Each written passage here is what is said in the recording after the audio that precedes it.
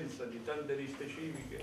anche l'ex assessore regionale Donato Di Matteo si è unito ufficialmente alla coalizione Io sto con Legnini. La sua adesione è stata spiegata oggi in conferenza stampa alla presenza dello stesso candidato Giovanni Legnini. Dopo aver trascorso gran parte dell'incontro lanciando pesanti bordate contro la giunta d'Alfonso, che lo estromise dall'esecutivo, e contro lo stesso ex presidente accusato di gestione prepotente, Di Matteo si è soffermato anche sui propositi della sua lista, espressione del movimento civico Abruzzo Insieme. Da sempre ho detto che se il candidato è Legnini, che mi dà garanzie di discontinuità, di competenza e di capacità uh, istituzionale,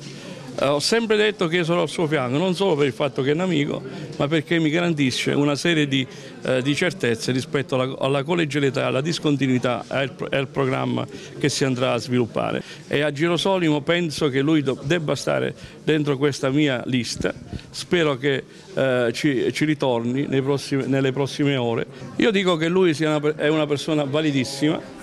è un grande amico che io stimo tantissimo lui con me ha costruito nei momenti difficili questo grande argine alle prepotenze, eh, quell'argine eh, che serve oggi a, a, a, diventare protagonista in una proposta politica dove noi possiamo contare. Se vince questa compagine fatta da gente nuova, io ho riflettuto molto perché ritenevo che alcune persone per me non potevano stare nella, nelle liste perché erano state parti attive di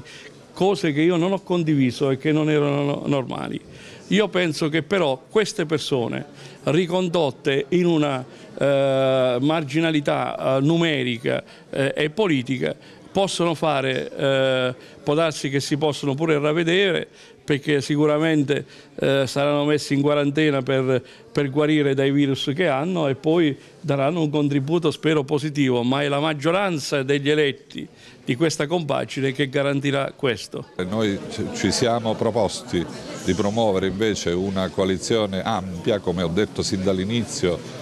che spazia dai progressisti ai liberali ai moderati, facciamo un appello alle forze di centro, anche alle espressioni di centrodestra che si uniscono a questa nuova alleanza per l'Abruzzo in nome dei cittadini e della risoluzione dei problemi della nostra regione.